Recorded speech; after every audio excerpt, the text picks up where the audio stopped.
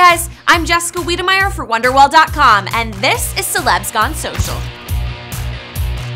We've got an inside look at Fuller House thanks to John Stamos, who's been chronicling production of the Full House spinoff on his social media accounts practically non-stop over the past two weeks. Let's check out the best behind the scenes shots for the set of the Netflix spinoff. John got the ball rolling last week when he took to Instagram to share this photo of himself flipping through the Fuller House script while hanging out on the steps of his trailer. And we're back. Same sideburns, different decade, he wrote in the caption. Uncle Jesse followed up by posting this adorable shot of his hand and co star Lori Loughlin's hand resting on top of a Fuller House script at a table read, which he captioned, Becky and Jesse together forever. And now the overwhelming feelings of nostalgia have officially kicked in. The men of Fuller House were on hand to celebrate Aunt Becky when Lori turned 51 on July 28th. Flowers for our favorite fun girl. Hashtag happy birthday Becky. John captioned this photo of himself and his on-screen love with co-stars Bob Saget and Dave Coulier, plus a giant bouquet of red roses. Now guys, let's all take a moment to marvel over the fact that Lori Loughlin just turned 51.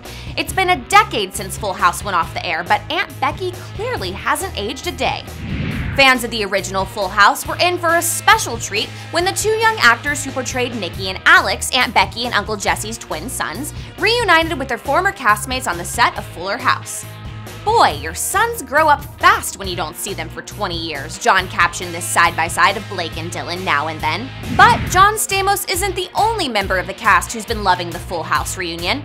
Candace Cameron Bure took to Instagram last weekend to share this selfie with co stars Andrea Barber, who you may remember as Kimmy Gibbler, and Jodie Stephanie Tanner Sweetin. Love these girls, DJ captioned this group shot. Sadly, there's still no sign that Mary Kate and Ashley Olsen have visited the set. How rude. But you can rest assured that we'll be all over it if and when they do. And that's it for today's Celebs Gone Social. Once again, I'm Jessica Wedemeyer for Wonderwall.com. Thanks for watching and see you next time.